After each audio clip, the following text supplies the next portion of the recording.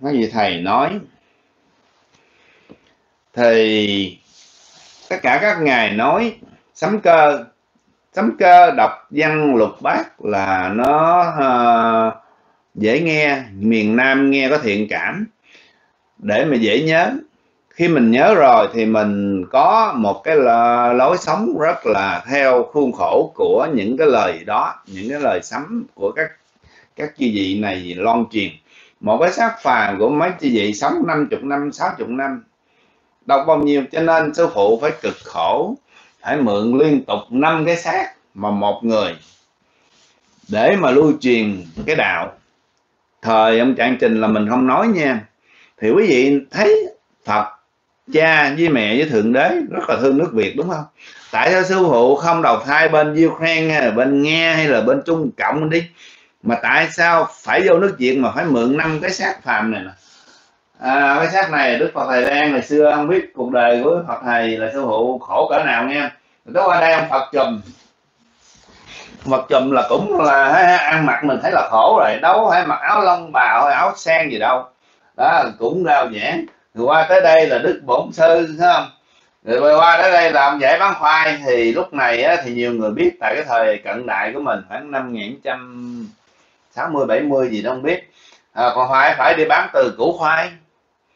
Đâu có được sung sướng gì đâu rồi qua cái xác này cũng bị chửi.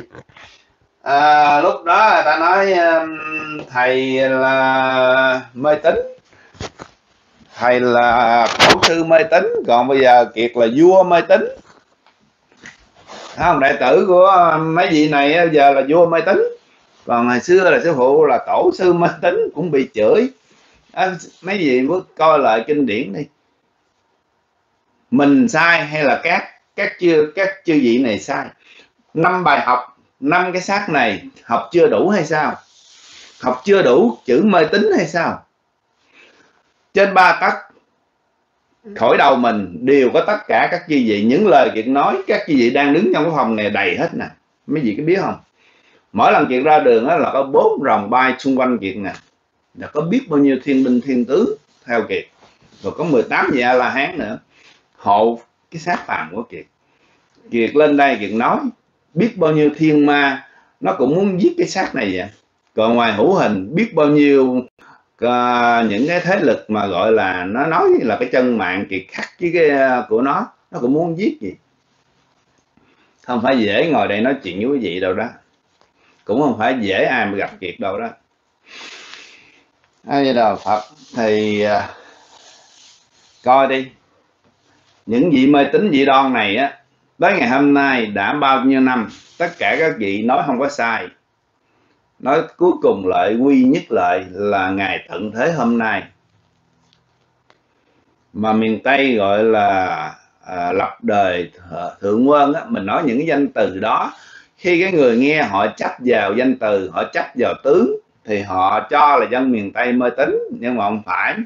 Nếu mà quý vị ở miền trung miền bắc hay là ở hải ngoại mà siêu trí thức gán ngồi nghiên cứu tại sao mình tin Ô, cậu bé Ấn Độ cái đó là tào lao những gì chuyện nói xong là mấy cái đó nó móm theo rồi nó thêm ban bệ của nó giỏi chữ nghĩa rồi nó làm hình ảnh đẹp nữa. Rồi cái ấy những gì chuyện nói trước là mấy cái đó móm theo không à.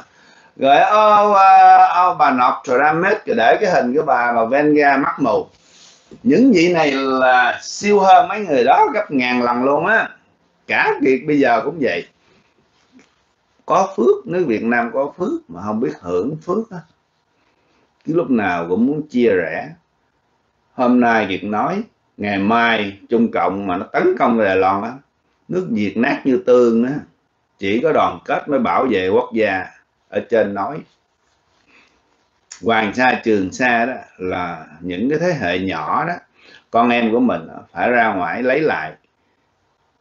Chứ uh, không có quốc tế không có liên hiệp quốc nào mà xử mấy cái chuyện này đâu nha tự mình phải nỗ lực khi mình mang thân người hay là mình mang một tinh thần dân tộc thì mình mới bộc phát lên.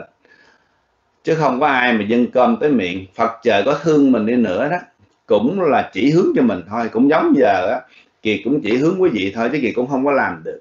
16 cây nhang đâu có làm được. nhờ bữa đó, đó kiệt nói trước một cái clip kiệt kêu gọi